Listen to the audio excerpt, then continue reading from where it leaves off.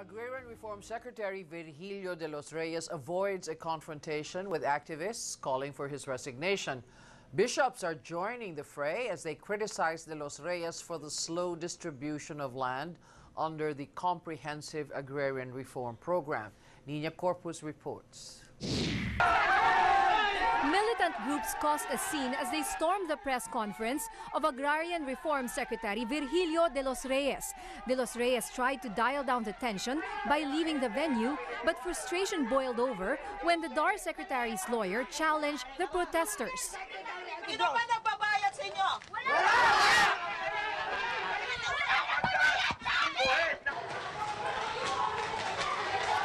A few moments later, De Los Reyes continued his scheduled press conference where the secretary denied the claim of the Catholic Bishops' Conference of the Philippines that the deadline for distributing land among farmers would be June 2014. Maliwanag na sinasabi na kung merong mga kaso na nakapending by June 30, 2014, ito ay pwedeng ituloy. Almost 80 bishops are calling for the resignation of De Los Reyes for the slow pace of the distribution of land. Pinaasa niya magbibigyan ng mga ah, certificate of land ownership award. Ngunit ang nangyari ay hindi po ah, totoo at hindi po kami nakakatanggap ng kluwa. I'm not resigning. I'm waiting, uh, the, the, I leave my fate up to the President. Despite CBCP's repeated calls, Malacanang reiterated De Los Reyes continues to enjoy the president's trust and confidence. But Manila Auxiliary Bishop Broderick Pabilio says if the palace still trusts De Los Reyes, they should be held responsible for the Carper's dismal implementation. Nina Corpus, ABS-CBN News. Inspeksyon ang Department of Agrarian Reform sa tinaguriang Hacienda Binay sa Rosario, Batangas. Ito'y para alamin kung merong naging paglabag sa Comprehensive Agrarian Reform Law ang naturang lupain. Exclusive nagpapatrol, Caroline Bonkin. Walo sa 26 na property ng Sunchamp ay commercial building na nakatayo sa agricultural land.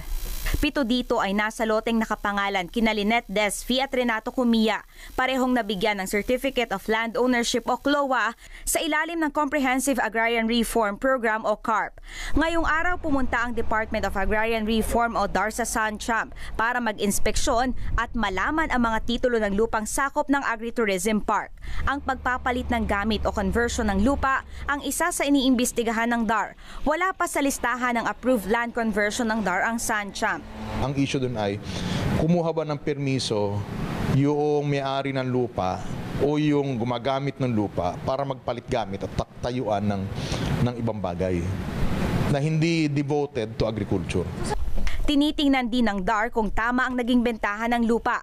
Hindi pwedeng ibenta ang mga lupa sa ilalim ng CARP sa loob ng 10 taon. Sakop man kasi ng CARP o hindi, dapat pa rin may permiso ng DAR ang paglipat ng titulo.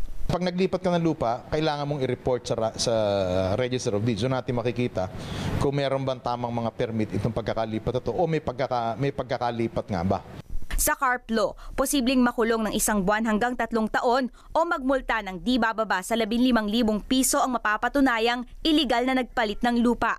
Sa Agriculture and Fisheries Modernization Act naman, bukod sa multa at posibleng pagkakakulong ng dalawa hanggang anim na taon, pwede ring ma-forfeit ang lupa kung mapapatunayang nagkaroon ng premature o illegal conversion.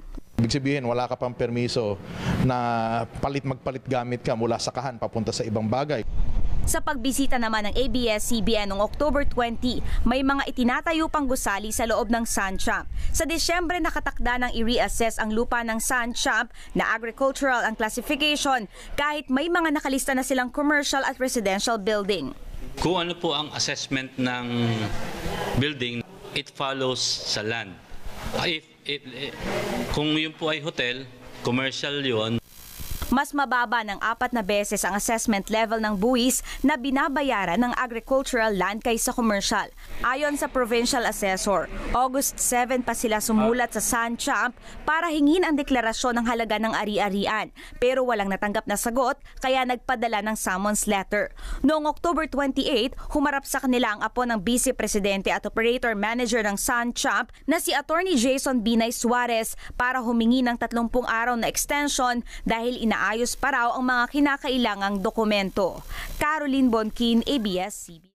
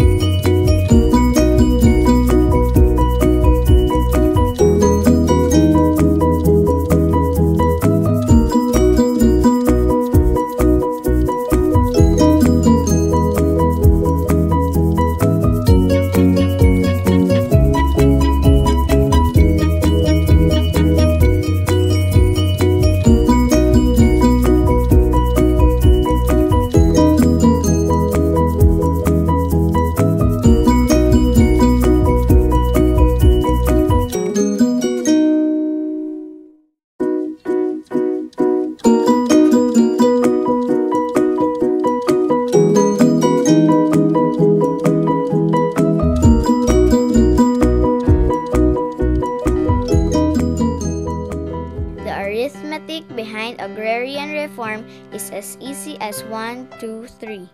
It is a formula that can solve rural poverty. Let's take a closer look at the numbers. Philippines is a country with an estimated population of 94 million people. However, about 23 million Filipinos are stuck below poverty line. Most of these Filipinos reside in the rural areas. If agrarian reform lives up to its promise as mandated in the Philippine Constitution, that is to redistribute the agricultural resources of the country to landless farmers and to allow agricultural workers to receive a fair share of the fruits of their labor. Then under the CARP and CARPER, 1.5 million hectares of land will be redistributed to about 1.1 million farmer beneficiaries. The program will benefit estimated 6.6 million individuals. That's 29% of the poor, mostly residing in the rural areas that will be alleviated from poverty. Plus, there will be sufficient, affordable, and nutritious food for all. But agrarian reform is more than just numbers. Owning a piece of land,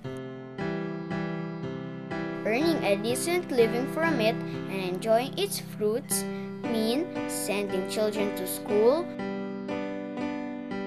putting food on the table, and providing a roof over people's heads.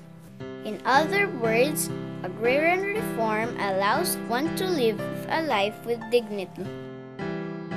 And to a simple farmer, it is the only sum that makes a world of a difference.